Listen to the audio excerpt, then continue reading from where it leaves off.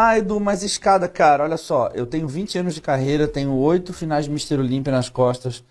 Meu cardio sempre foi o melhor para minha articulação. Teve momentos da vida em que eu tive lesões no quadríceps, problemas no joelho muito agudos e onde eu só podia fazer bike. E, ah, mas a bike, sim, foi o ano que eu fui segundo lugar no Mister Olímpia, foi o ano que eu só fiz bicicleta. Eu ainda tinha que botar o banco bem alto, trabalhar na ponta dos pés para diminuir a amplitude de flexão no joelho para poder manter o cardio. Ah, teve preparações que eu gostava de caminhar ao ar livre. Legal também, funciona. É, teve momentos, situações que eu gostava de fazer só esteira inclinada. Para mim, hoje é um dos melhores que eu me adapto muito bem, até para o joelho também acho muito bom. A esteira com uma leve inclinação. Para mim, é um dos cardios mais massa de fazer assim.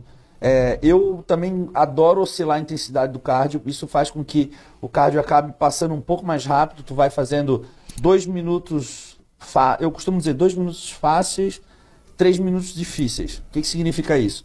Tu vai mexendo em variáveis para tornar o cardio difícil. Então, o que, que tu pode fazer numa esteira, por exemplo?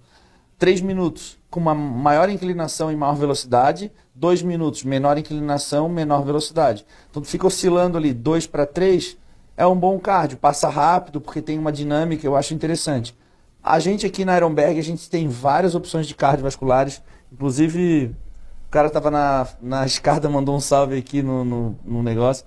A gente tem três simuladores de escadas, a gente tem o Arc Training, a gente tem remo, a gente tem bike, a gente tem bike vertical, bike horizontal, a gente tem elíptico, a gente tem uma porrada de esteiras, esteiras que declinam, inclinam.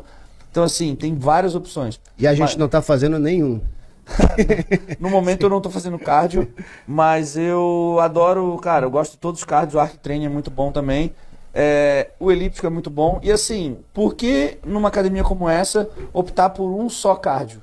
Né? Eu gosto de trabalhar, tipo, às vezes eu vou trabalhar 40 minutos, eu faço 20 de um, 20 de outro. É, o cardio tem que ser uma atividade também prazerosa, né? Não adianta tu ser uma atividade maçante, porque quanto tempo tu vai fazer cardio, né? O resultado cardiovascular ele é a médio, longo prazo, né? Ainda mais falando de saúde. Então, não adianta dizer, ah, eu vou fazer só escada. Primeiro, que nem todas as academias têm essa disponibilidade de ter três, quatro simuladores de escada. Segundo, que a maior parte das academias nem tem simulador de escada. E outra coisa que, às vezes, tudo bem, tem um maior gasto calórico ali, tudo bem, mas eu não acho que o melhor cardio é aquele que gasta mais. Eu acho que o melhor cardio é aquele que tu consegue manter por mais tempo, mais dias, mais meses. Esse é o melhor cardio. É, a tua primeira resposta foi melhor, é o que tu consegue aderir. É, é igual a dieta, né? Qual a melhor dieta? Aquela que tu consegue fazer. O melhor né? cardápio é aquele que é feito. Exato. Então, eu acho que vale a pena comparar todos esses cards que a gente falou aqui, o quesito sobrecarga articular. A escada é o que mais tem, certo? Então tem que considerar que um fisiculturista que já tem um trabalho intenso em, em, membro inferior, aí vai ter que tomar um cuidado. É, não é que ah, tem, que tem que ser fielmente. O Edu, se tu falar aqui que era escada, o nego vai sair fazendo escada pro resto da vida. Então, assim, é. tem que considerar isso, a sua realidade, a sua condição. E o que ele está colocando, talvez vá gastar mais calorias, sim, mas o melhor é aquele que você já sai de casa. Porra, vou ter que fazer uma hora de escada agora, meu joelho tá ruim. O coach falou que eu tenho que fazer uma hora. Não, você tem que fazer uma hora de casa, você tem que fazer, você tem que aderir a um programa que você vai conseguir fazer. Vai vir pra academia, vai ver o Ironback Podcast by Floripa aqui, certo? E aí vai aderir esse, a esse cardio aí, mas... É, assim, tem atletas que são fielmente, acreditam fielmente que a escada marca mais a coxa, trabalha mais o glúteo. Mas assim, se tu fizer um trabalho, por exemplo, de bike, também vai ficar com o glúteo fibrado. Não precisa necessariamente ter uma especificidade. O cardiovascular, ele não é um agachamento. O cardiovascular é um exercício que vai aumentar teu metabolismo, tua queima, de, tua queima calórica e tal. Isso, por exemplo, tá? Vou usar o, o Big Ramy faz escada, bastante escada. Só faz escada, só vejo ele fazendo escada. E o fio só faz bike.